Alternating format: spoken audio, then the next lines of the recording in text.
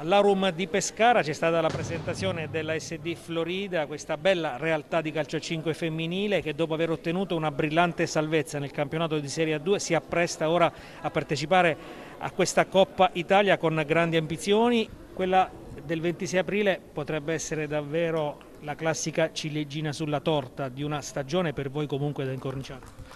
Sicuramente, eh, considerando che lo scorso campionato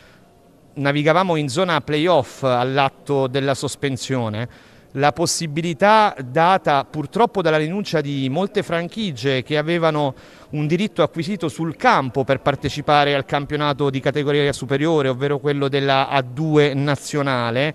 ci ha dato la possibilità di chiedere un ripescaggio dove obiettivamente fra tutte le squadre che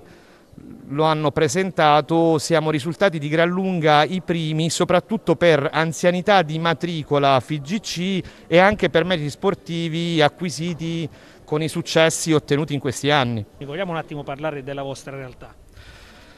Quando io e mio padre eh, abbiamo deciso di rilevare eh,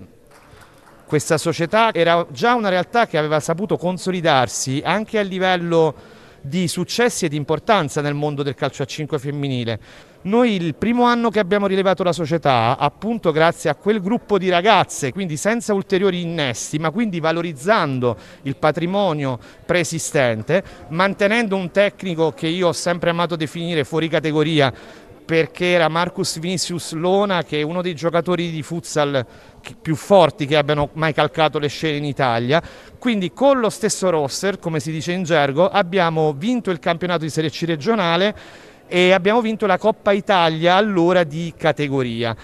Quindi abbiamo iniziato una progettualità appunto in quel senso, valorizzando quello che esisteva e l'idea successiva è stata sempre quella di creare un movimento giovanile di base forte dietro la realtà preesistente.